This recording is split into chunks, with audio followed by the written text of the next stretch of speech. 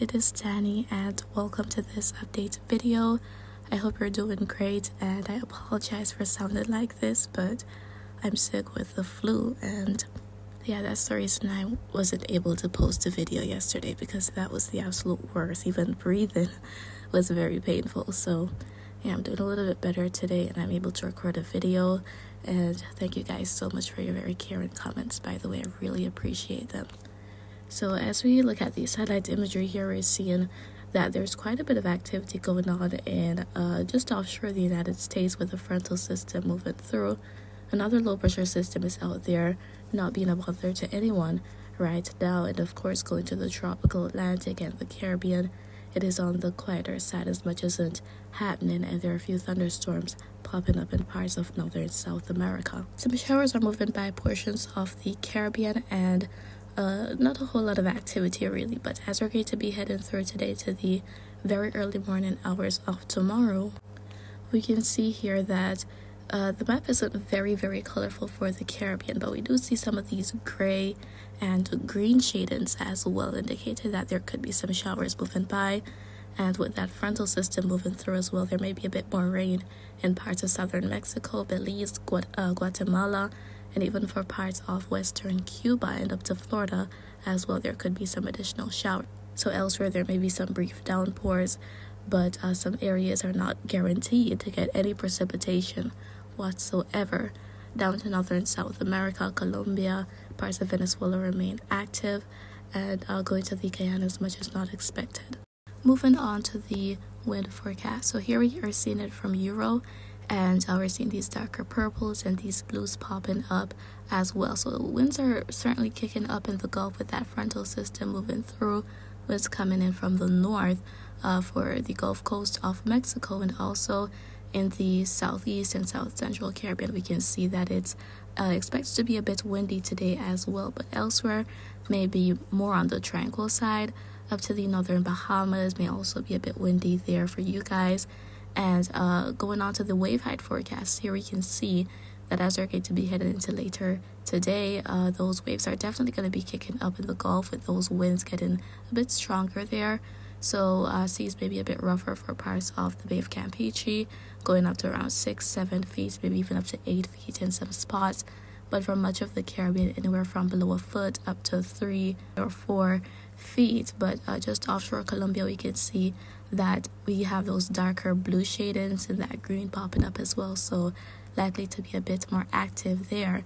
And also offshore the United States, we're seeing those yellows and those reds popping up. So seas probably up to 15 feet or higher within those areas. Now, of course, this is a countdown video to the official start of hurricane season, and as you would have seen in the thumbnail, Euro is forecasting a very active season. So we're going to be taking a look at the anomaly for that for August, but I also want to show you guys uh, a comparison in terms of the sea surface temperatures. Now, this was for uh, really March 11th last year, and take a look at this. We see uh, mostly 26, 27 degrees across parts of the Caribbean, and of course, the cooler colors, the greens going to the blues, indicate uh, lower temperatures.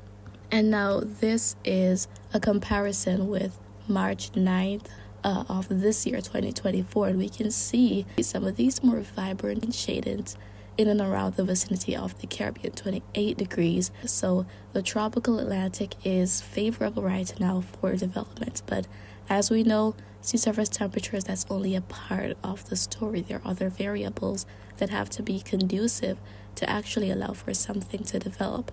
And usually, as we head into the latter part of spring and early summer, we tend to see just that. We tend to see uh, wind shear getting conducive to allow for development to happen, as well as these tropical waves, these low pressure systems moving off Africa and propagating to the west. And uh, this is a look at the temperature anomaly for the tropical Atlantic. So, from Africa to the Caribbean, we're seeing these orange shadings, some of these reddish shadings as well. So it is most certainly above average. And by the way, February was the warmest on record. So temperatures are well on their way globally, not only in the Atlantic basin, but on a global scale for many areas. And La Nina is expected to set in as we head into the heart of the hurricane season, which would allow for more development to take place. Now, this is a look at the Euro precipitation for, uh, anomaly forecast here, and uh, this is for August 2024. So, before the peak month of hurricane season, which is September, take a look at this. Now, as we head from that lighter to the darker green shaded and the blue, that is indicating above average precipitation. So, that means that things are likely to be wetter within these areas offshore Africa, across the tropical Atlantic, and of course the Caribbean. So, above average precipitation expected, which means that we could have a lot of these tropical waves developing as they make their way to the west. And uh, most of the Caribbean is highlighted in at least the, the very pale green shading, and that suggests a dominant high. And a dominant high pressure system would rotate clockwise. So, when it is very strong because of that rotation, we tend to see systems being pushed more into the Caribbean and the Gulf of Mexico. As I've been talking about, as you have maybe been seeing other forecasts saying, it's likely that we'll have a very active hurricane season, potentially a historic one. And by the way, Euro is also calling for 17 named storms, of which 9 could become hurricanes, but that's not for the entirety of the season. That's April, until around the end of September. So that does not include October and November. And with La Nina setting in and strengthening, that could mean that we could have an active end to the hurricane season as well. We could even see storms popping up in December.